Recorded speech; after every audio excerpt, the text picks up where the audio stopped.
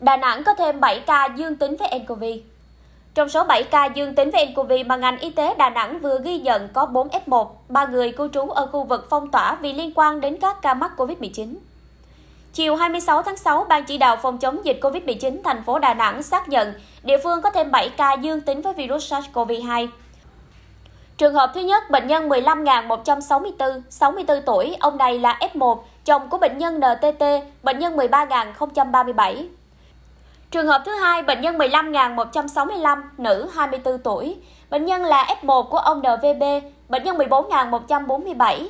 Cha là NVTA, bệnh nhân 13.867 và mẹ là bệnh nhân 13.050.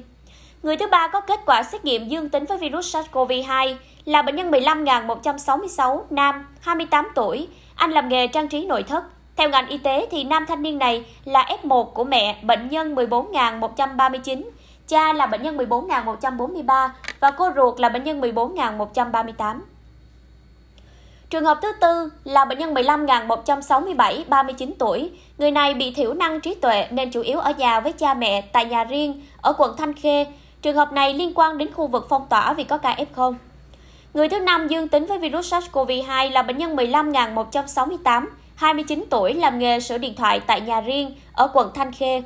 Anh H cư trú ở khu vực phong tỏa vì có ca F0. Ngành y tế cũng xác định bệnh nhân 15.169, 27 tuổi cùng trú quận Thanh Khê bị dương tính với virus SARS-CoV-2. Chị này cư trú ở khu vực phong tỏa vì liên quan đến ca F0. Trường hợp cuối cùng là bệnh nhân 15.170, 59 tuổi, trú quận Liên Chiểu, thành phố Đà Nẵng. Ông làm công ty xây dựng tư nhân. Theo ngành y tế, người đàn ông này là F1 của bệnh nhân 13.033. Hãy đăng ký kênh Alo Bác sĩ Video để nhận thêm nhiều thông tin mới nhất về y tế, sức khỏe.